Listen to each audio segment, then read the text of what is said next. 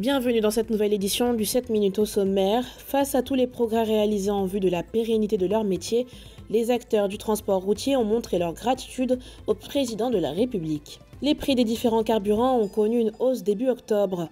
Pour pallier à cette augmentation et minimiser le coût des transports, certains envisagent notamment l'allègement des tarifs du péage de Grand Bassam. Et en fin d'édition, retour sur l'installation du Conseil régional du Tonpi. Infrastructure routière neuve, soutien à l'acquisition de véhicules neufs, formation des conducteurs routiers et mise en œuvre des instruments de la lutte contre l'incivisme routier. Voilà, entre autres, ce qui a valu au président de la République Alassane Ouattara un hommage de la part des acteurs du transport routier.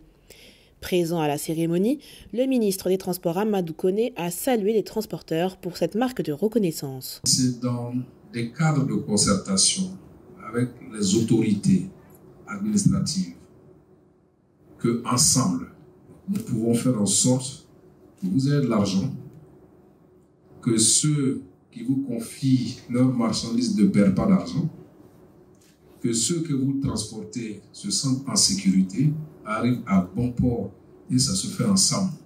Porté par le Haut Conseil du patronat des entreprises de transport routier de Côte d'Ivoire, l'institution a profité de l'occasion pour encore une fois plaider la cause des transporteurs routiers.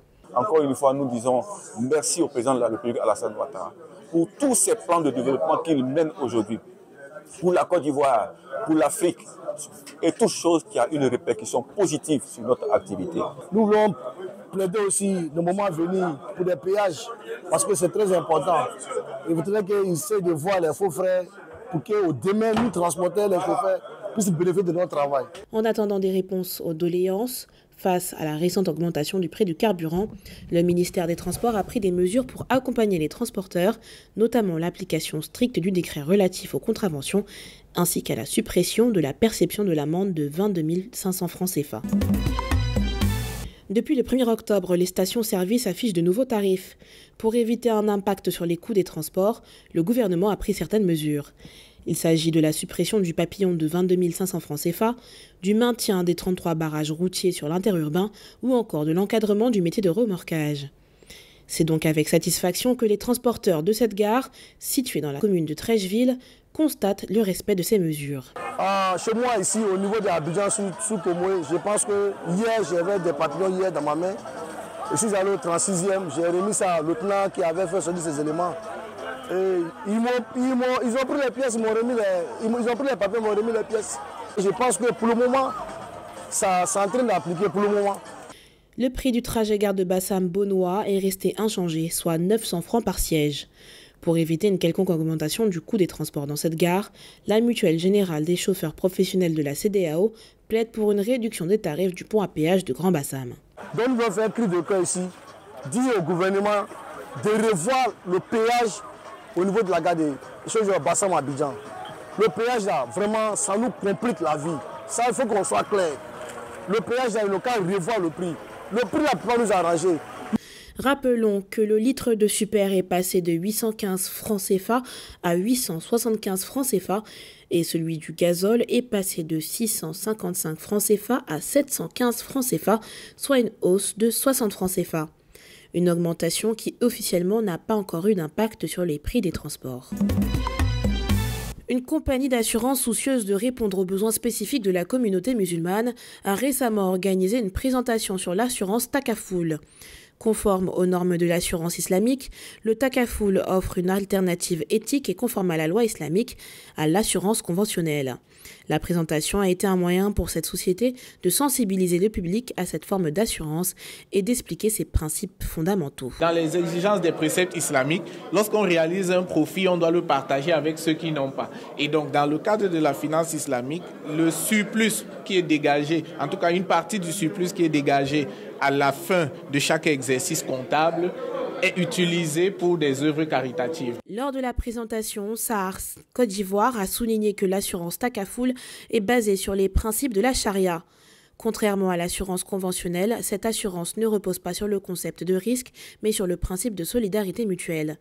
Les participants à l'assurance contribuent à un fonds commun qui est utilisé pour indemniser les membres en cas de besoin. le biais du CHAMSI, avec euh, tous ses membres qui sont tous des chefs d'entreprise, On va essayer de promouvoir cette assurance, voir, comme nous avons vu déjà, les bien fondés, voir tous les avantages du côté islamique pour pouvoir faire vraiment la promotion en Côte d'Ivoire. Le concept de Takaful Assurance m'a séduit en tant qu'assureur parce que effectivement ça corrige des points que même nous nous voyons euh, en tant qu'assureur, mais comme c'est à notre avantage, on n'avait pas intérêt à les relever. L'assurance Takafoul se distingue également par son engagement éthique. Conformément à la loi islamique, les fonds collectés par le Takafoul sont investis de manière socialement responsable, en excluant notamment les secteurs d'activité considérés comme non conformes à l'éthique islamique, tels que l'alcool, le jeu et l'usure. Fort de huit membres, le bureau du conseil régional dirigé par Albert mabrit a été installé le vendredi 6 octobre 2023 conseillère régionale, Edwige Dietti a tenu à prendre part à la mise en place de cette première séance avec tous les conseillers de son bord.